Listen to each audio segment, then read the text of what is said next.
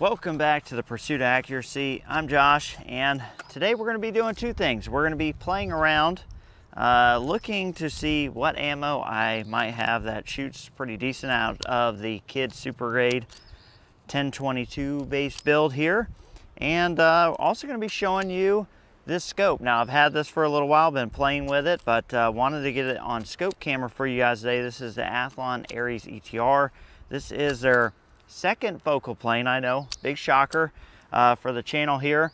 But this is the 15 to 60, so this is very much a bench rest scope. Um, as you're going to see when we fire up the scope camera, it's a very fine reticle. We have eighth inch click adjustments here, so very fine tuning and uh, very much a bench rest setup. Uh, but we're gonna play with a semi-auto today, and uh, let's get this fired up. And uh, we're just gonna see. I have no idea. I haven't uh, done anything with this to zero it. So we're just gonna first take a look-see and uh, let's back this out. All right, we're gonna shoot right about there. And it is crazy, crazy low.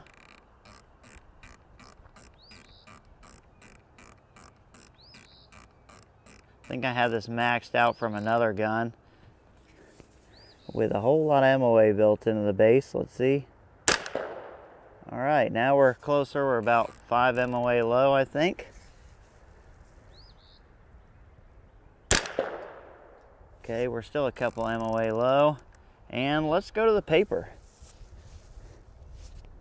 Let's get this girl zoomed in a little bit we are at 30 power there. See how this looks for you guys. See where we're at on paper here. We're just going to that top left sighter. We are way low. Four and a half MOA.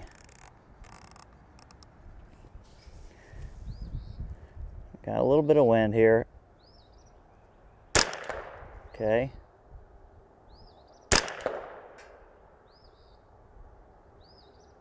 We're about two MOA to the left.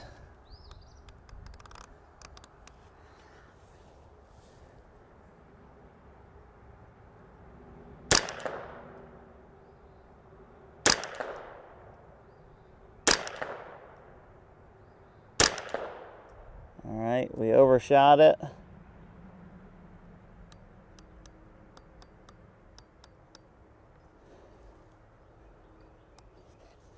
We're getting her there. We're probably out of ammo. Yep. Who'd have thunk it? See how these 15 rounder speed, if we can get the thing in there. Should be getting pretty dialed now.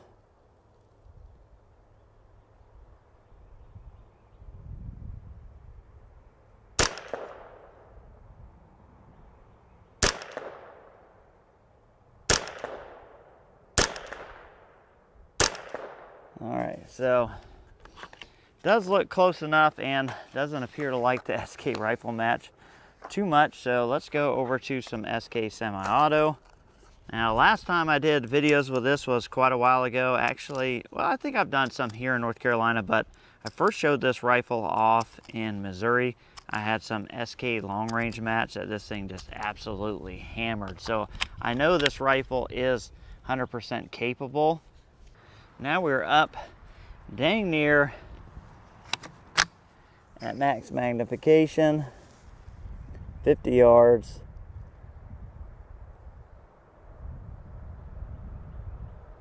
You can see how thin that center dot is, really nice.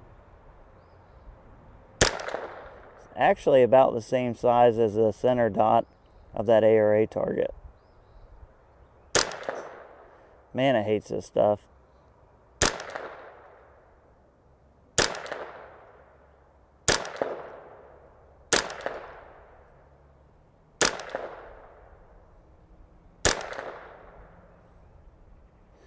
Well, it's starting to come in.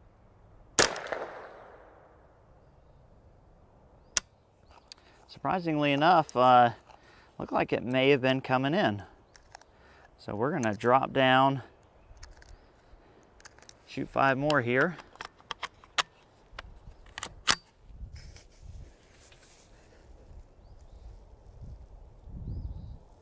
We're gonna go over, we're gonna go to the bottom now.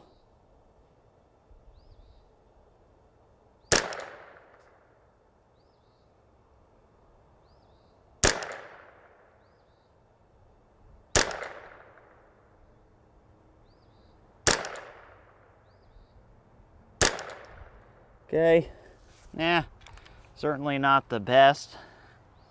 We're gonna skip some of these other ones. We're gonna go straight to something we haven't tested, like ever. We have some Lapua long range. And I'll get back on this scope here in a second, show you guys this magnification range. Does parallax down to, I think, all the way down to 10 yards. And adjustments are really smooth does come with a big focus wheel. You are going to get the throw lever. Um, let's see here. Let me back this out. I'm kind of working my way around the, the scope there. So there we have 15 power and we're going to come all the way in to an out of focus 60 power. So you have quite a lot of adjustment here. We're going to back this back out.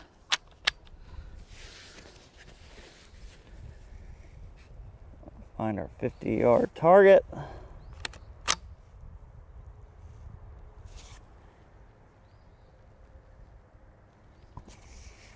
All right, let's see if the Lapua long range can do anything for us.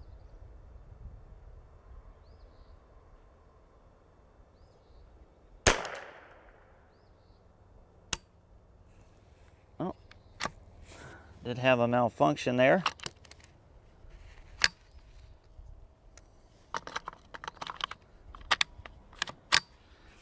Welcome to 1022s.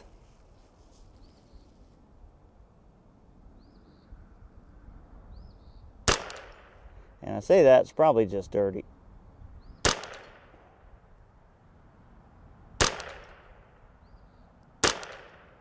Okay, not too bad. Let's move over one.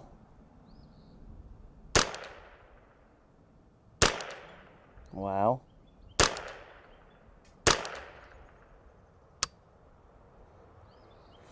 Yeah, nothing real great so far.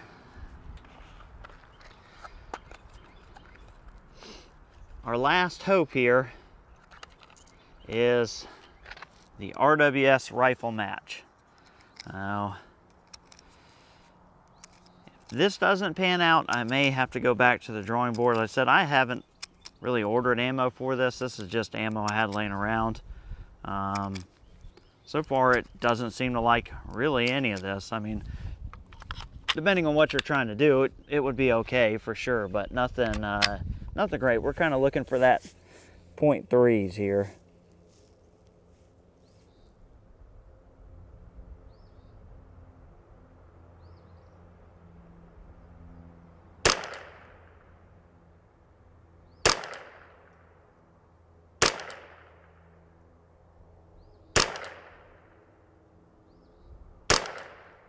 Okay, a little hope there. We're going to go up one.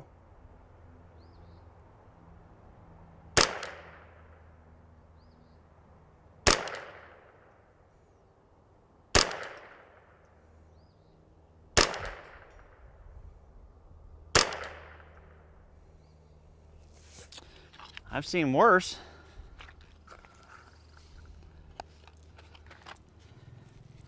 I'll follow up with five more here.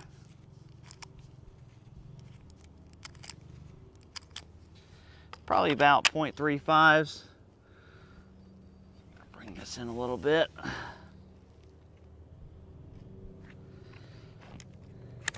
This does okay, we'll run it on the KYL. But uh, let's see here, got magnification dialed up a little bit more. Are dealing with some wind, so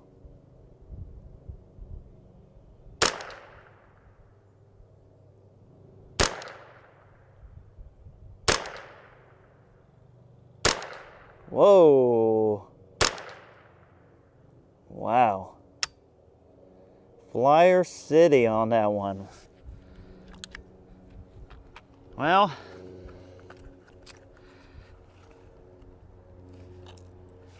we're to shoot the KYL. I'm not to use the expensive stuff. Uh, Not if it's gonna have flyers like that. So we're gonna shoot some Norma TAC 22. I'll shoot a couple here just to make sure we're somewhat close. This is made by RWS. And then we're gonna go after that KYL. I don't think we'll have too many problems. Oh, I have a problem chamber in it apparently. Let's see.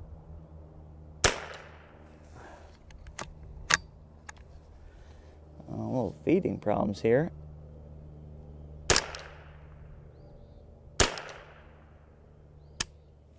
Wow, this uh, so far is not going that great.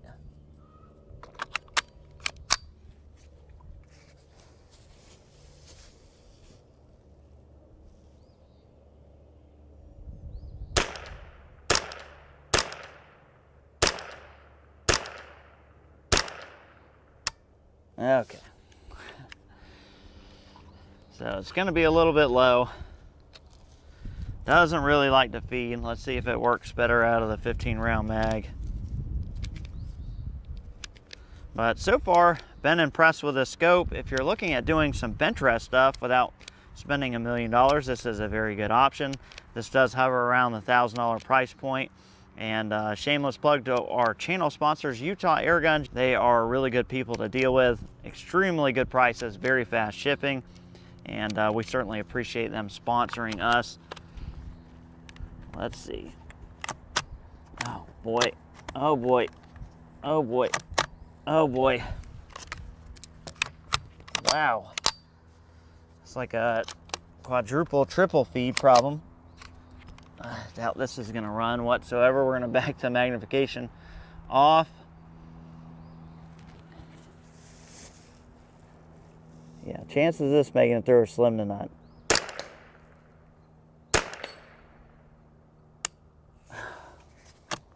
Come on. All right.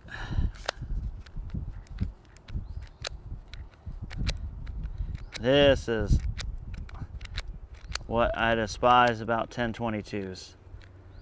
Now don't get me wrong, you can find the right magazines, um, and part of it's probably magazines, part of it's this ammo. This stuff, I mean, is unbelievably waxy. I mean, it's crazy. The action was already dirty, but you know, this stuff doesn't happen in bolt guns or um, AR pattern semi-autos. See, we got a video come on that. I think we're on the third one.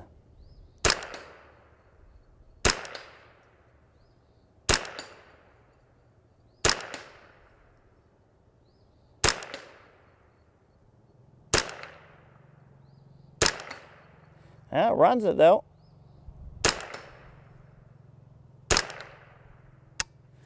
Just goes to show you, you don't need an absolute hammer to hit steel, especially at 50 yards, an NRL style target like 50 yard KYL. But uh, first look at this, there'll be more. There is a gun that I want to put together to specifically use this, and it won't be uh, KIDD 1022. And obviously, as far as that goes, we really didn't find any ammo that hammered out of this today. Uh, more looking, and you know, as you guys have seen in other videos, this rifle it really shoots really, really well, but it only does it with the right ammunition, and we didn't have the right ammunition today. Um, it is a little bit picky, I will say that about this. These rounds are total junk. Um, and yeah, so more to come on the KIDD 1022, more to come on the Athlon Ares bench rest. I really do enjoy this. I don't use uh, these second focal planes a lot, but having that super thin reticle and having the super fine adjustment certainly does help. Again, I'm going to put together a bench rest gun for this. I don't know when that's going to happen, uh, but in the future, that will come and you will see the scope again. I do think that this is worth buying if you're looking at getting into something like bench rest. You could use this for just regular shooting too, if you don't mind the thin reticle, but best use is going to be probably 50 yard ARA bench rest shooting. Appreciate you guys watching. We'll catch you on the next one.